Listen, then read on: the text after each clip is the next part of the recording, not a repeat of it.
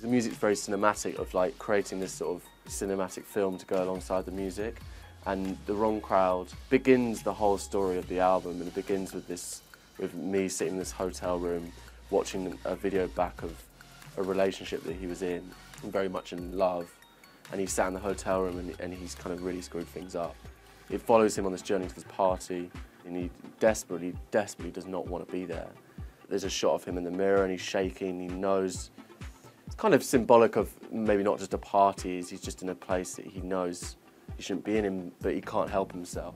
By the end of the video, it twists and he's there sort of overindulgently loving it. And there's champagne being poured on him. He might be smiling, but there's, you know, it's, um, he's crying on the inside, you know. And so it was just exploring that theme of sort of how that kind of hedonistic behaviour can destroy something that is ultimately far more pure in his life. And George Belfield, who directed them, really wanted me to do this scene where they were pouring champagne over me.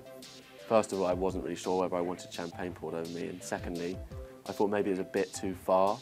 But they told me it wasn't champagne, and it, it was. And uh, if you ever find yourself in that situation, it stings like hell. and so I was sort of trying to sing the words into the camera, but I couldn't open my eyes. So I was like squinting, but it was quite funny. Yeah. Overall, it was enjoyable. The idea of the cheetah, the woman, which is actually across the artistic side of the album keeps coming back. Cheetah is representing ultimately like the most, is one of the most natural being, you know, it's a natural animal and it's beautiful. It's almost like Mother Nature's uh, masterpiece. But then next, next to that you have a, a, a woman that is, you know, beautiful and elegant in her own right, but showing that more side of things that isn't so pure, you know.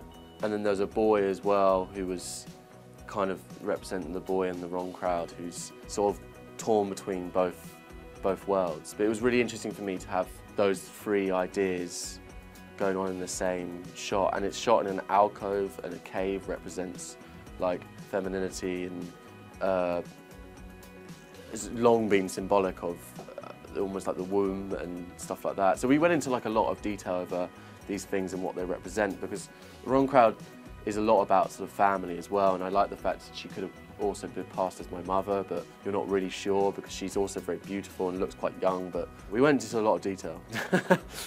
but having the cheetah was, it was amazing and, and a terrifying experience uh, because it's such a force of nature. I mean they're so big and um, such beautiful animals.